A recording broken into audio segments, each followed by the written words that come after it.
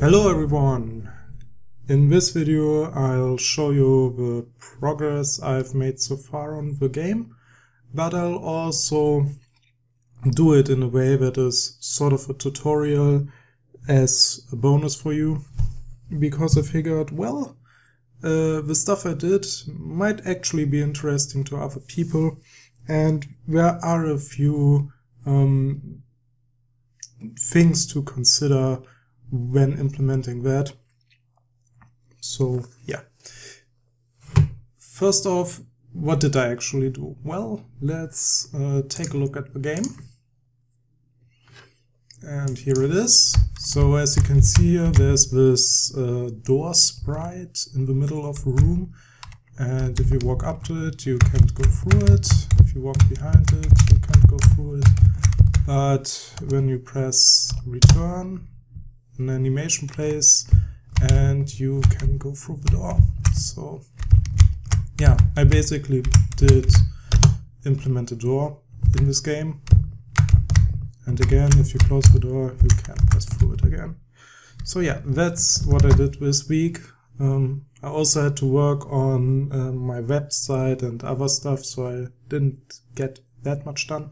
But I think it's enough for this video. And how did I do that? Well, I actually used quite a lot of um, interesting things in Godot. First off, you'll see here, I have this player and this door element and this YSort, but that's something I'll talk about later. Now, player and doors um, are not integral parts of the engine but instead they are separate scenes I created that I instantiate in my world scene here as single objects. And these separate scenes, for example here player, consist of different elements. So player consists of an animate sprite 2D, a collision shape, and a camera. And the camera is obviously there for the fact that when you move around the player, uh, you'll always have the player character in the center. So that's pretty self-explanatory. Now, animate sprite is obviously there for the actual graphics of the game. And in order to define the animation for the character, you need to select the animate sprite and go to frames. I already have an entry here, but you will have to create a new sprite frame in order to add frames or an animation to your game. So when you double click your newly created um, frames, you will get this uh, menu and in here you can add uh, different animations on that side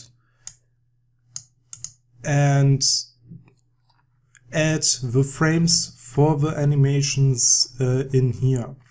Now, what is important to um, know is that for some reason, at least I haven't found a different solution yet, you'll need to have those um, frames as separate images. So if you come from other engines, you might be used to having a sprite sheet and you just define certain regions of that one sprite sheet to be a frame. That's not possible in Godot as far as I know. Instead, all those different um, subrects, some call them, um, you need to have those subrects as separate images. Which is not really good in my opinion, but well, it's something you can deal with.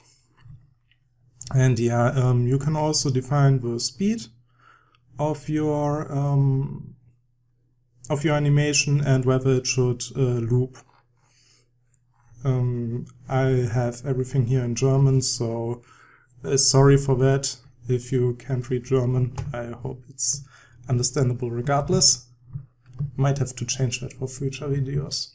Well, anyway, so that's basically how we define our animation in the game. uh, to make them to make the animation themselves accessible.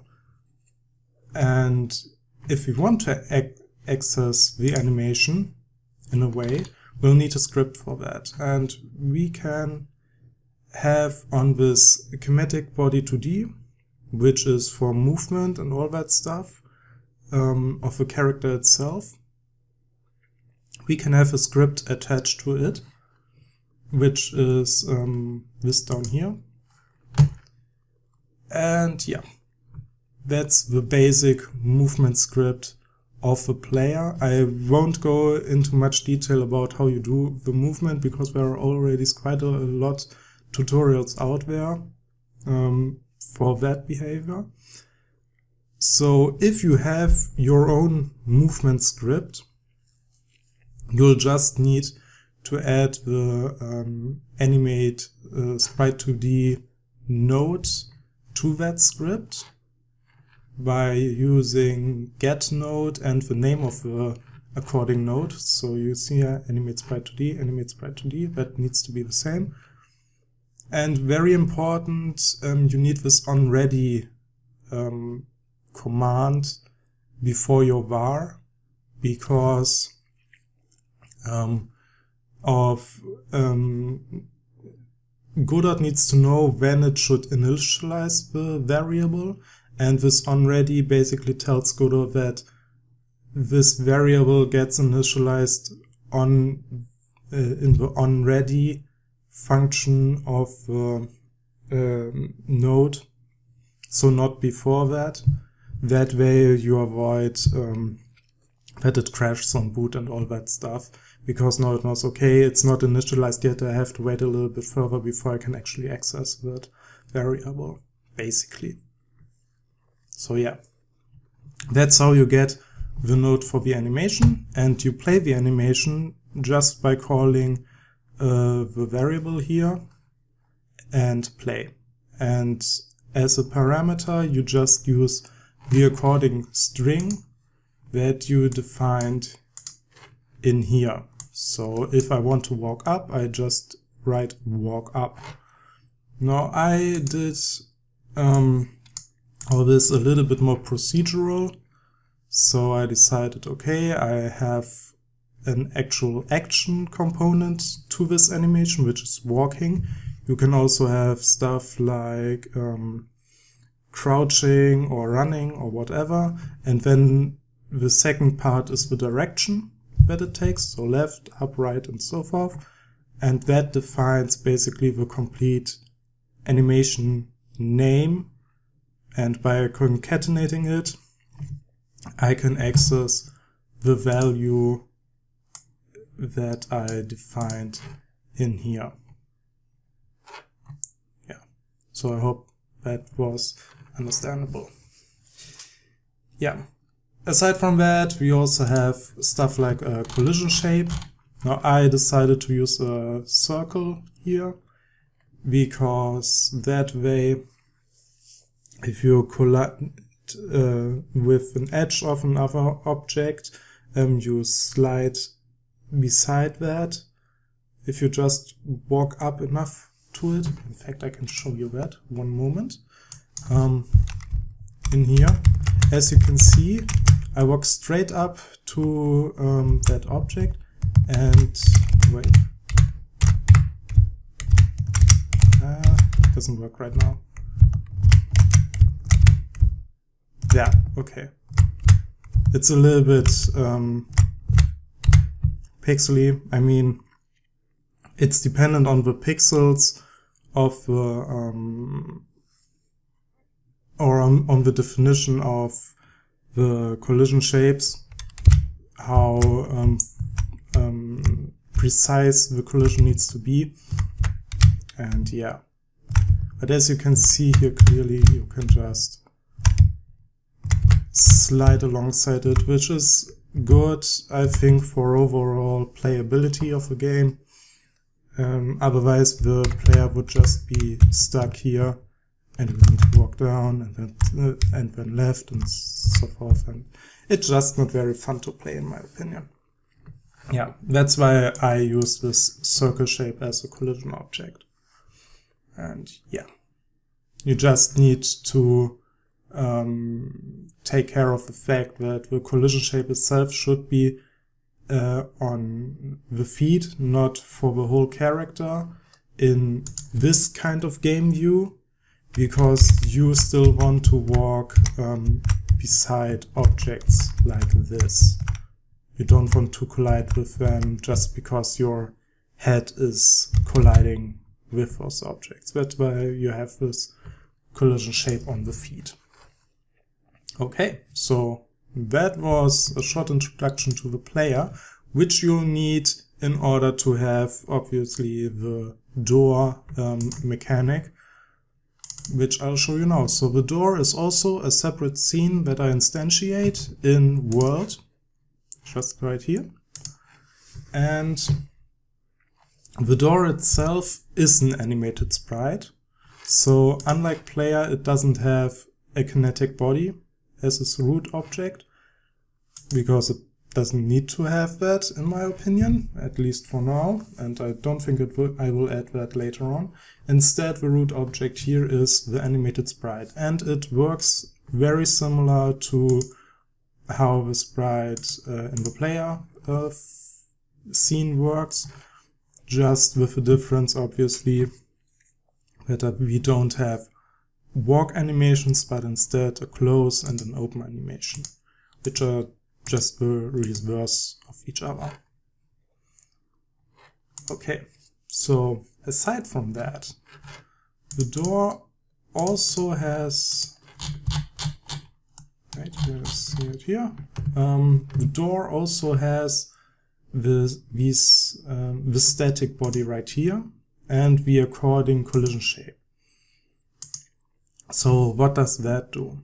Um, as you can see, the collision shape is this rect right here. And that is basically the area that the player should collide with the door so he can't move any further. So basically it's the, the, the mass of the door or the actual wood that is blocking the way for the player in real life terms. Now the other thing is this door area and that is an area 2D and it also has a collision shape which is this long rectangle here. And that is the interactable area for the door. Meaning that if you want to open the door, you need to be inside this area not inside the other area because you'd collide with that and you and the way gets blocked. But you are inside of this area that you can freely enter and exit. And inside this area you can press return and the animation plays and the doors door opens. So. Um, that is also why uh, I think I have it somewhere here.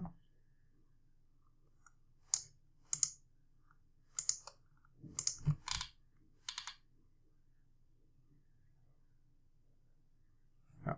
Um, that's also why I have this um, script for the door area, so for that node, um, in order to um, make this interaction possible.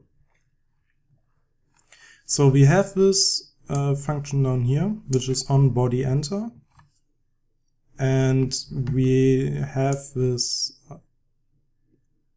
according connect function up here, which basically um, assigns the event that something enters the door area to this function down here.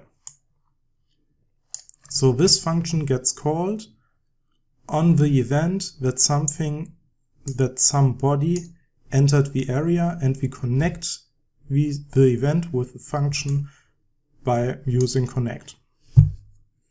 So I think it's straightforward once you know you actually have to do that. Once we've done that, um, we can do all sort of sorts of stuff. I only print something here um, because I don't actually need it right now. Instead, I use the process function in order to figure out if an action button was pressed, so uh, if return was pressed, and if that was the case, the um, door area um, looks up all the overlapping bodies that are currently in the area. And if there is a kinetic body in the area that is called player name, so has the name player here, which I defined the player name, then it either uses, then it either opens or it closes, depending on which state it was before. Which we can check with the store animation if the current animation that is being played is open, then the door needs to be closed on uh, pressing the return key. And if that's not the case, then it's the other way around, obviously. So yeah, that's so much for the animation. Now, what you also noticed was that when I walk up here, I can't go through the door, but once I press the button, I actually can go through. That's because of these lines. I basically deactivate in my door area the collision shape for the door, which is that one, not this one.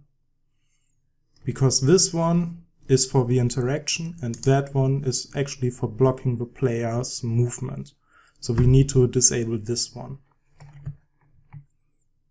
And yeah, that is basically all we need to do um, for the door. Now we can access this collision shape by using door get node and having some sort of, yeah, you could call it a directory path in a way because it's very it acts very similar to that.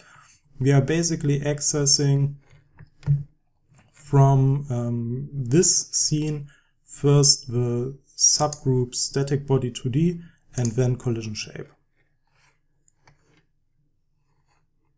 And yeah, that's basically it. If you want to get want to know more about how GetNode work, um, just download Godot and call the internal uh, documentation. It's all explained here. But I think for this video that should be enough for you to know. If you have, again, if you have any questions further on, just write them down in the comments and I'll answer it. So yeah. That is how the player and the door works. Now there's one thing I mentioned in the beginning of this video, um, which is kind kind of interesting. Now if I uh, walk up to this door, the player is rendered after the door, so in, in front of the door, while if the player is behind the door, the door gets rendered after the player. And that is a much needed feature, obviously, in order to have a certain perception of depth in your game, even if it's just a 2D game. But how uh, are you actually doing that?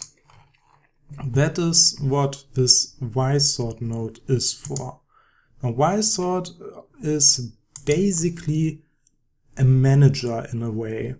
A manager for all its subnodes that can be sorted and it will sort the uh, nodes according to their Y position. So if the player's Y position is um, bigger than uh, the doors, it gets rendered after the door, and if it's smaller than the door, so the player is behind the door, then uh, it will be rendered before the door. And that's all what YSort does. Now, I mention this specifically because I first had the impression that you had to add your YSort to your components here. Um, so to this scene, to these scenes, in order to tell the um, in order to tell the engine how to uh, render this these um, scenes, these sub scenes, the player and the door.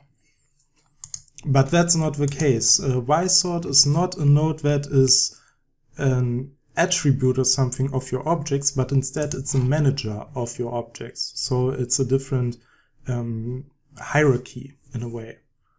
You need to add your um, sortable objects as child nodes to your YSort and not the other way around.